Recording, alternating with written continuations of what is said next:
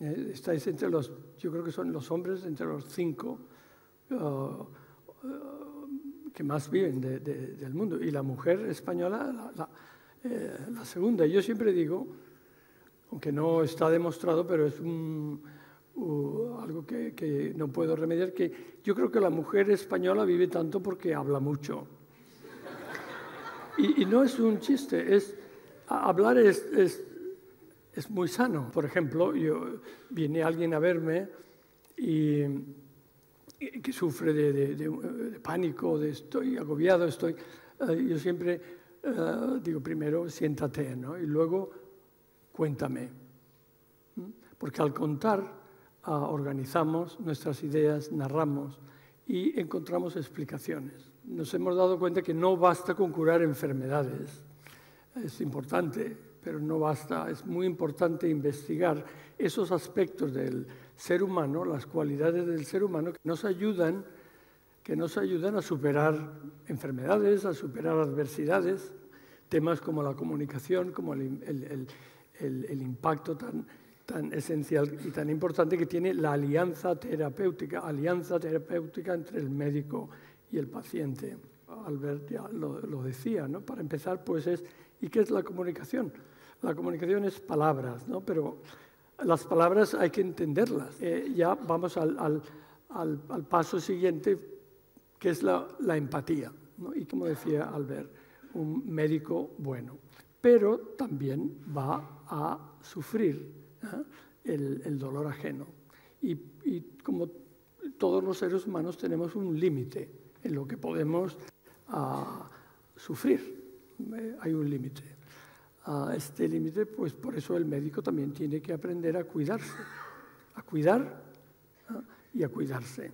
El entender el estilo explicativo nuestro y del vecino y del, y del paciente es importante ante una enfermedad o una adversidad, pues el estilo explicativo, como lo estudiamos, tiene tres componentes. ¿no? Ah, ¿Es esto algo que me afecta esta enfermedad? ¿no? ¿Me afecta todo mi ser o me afecta a la parte que está enferma? Dos, ¿esto es algo que va a durar para siempre? Y tres, ¿esto es culpa mía? Luego, el entender que, cómo el paciente interpreta o explica su enfermedad es muy importante. Otro punto en la alianza entre el médico y el paciente importante es la decisión compartida. La decisión compartida eh, tiene que ver con, eh, o sea, hasta hace poco, pues el médico era tenía una figura no solamente de sabio, sino también de paternalista. Mira, te vas a tomar esto, esto, esto y esto. La decisión compartida entre el médico y el paciente, donde el médico le dice, mira, tienes, te podemos hacer esto, esto o esto. Y ahora tú, entre tú y yo, vamos a decidir qué es lo que tú quieres. Es el apoyo, claro, el apoyo psicológico al paciente. ¿Y esto qué quiere decir? Que si tenemos un paciente que está deprimido, pues hay que tratar esa depresión, ¿verdad? La depresión es, para mí es la peor enfermedad, pero ¿qué puedo hacer en mi vida para controlarlo? Y curiosamente, este sentido de yo puedo hacer algo es útil incluso cuando en, realidad uno no puede hacer nada.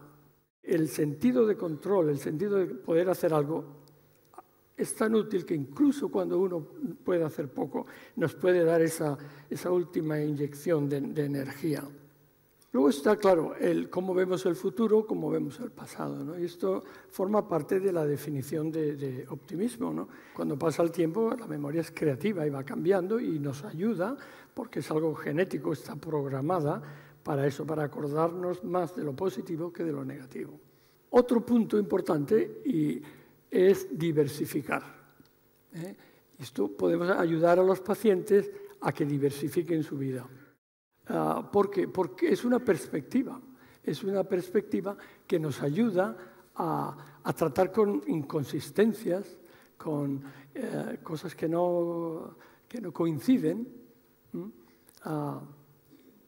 irregularidades de la vida, sorpresas, y, pero que nos ayuda es una perspectiva a, largo plazo, ¿verdad? Eh, vemos, mira, y nos reímos, mira lo que me pasó hace eh, un año hace unos meses y uno ve el aspecto, ah, el aspecto eh, humorístico y que el humor, que además si nos reímos, pues la risa es, es un ejercicio enormemente saludable. ¿no?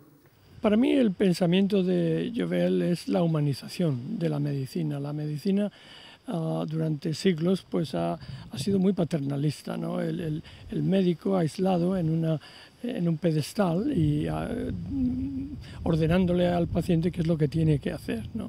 El, la humanización de la medicina que tanto Jovel ha, ha ha promulgado y ha predicado es fundamental no solamente para para que el paciente se sienta mejor y para que el médico también disfrute de, su trabajo más, sino que al final tiene un impacto muy claro en el tratamiento y en el, en el, éxito de ese tratamiento.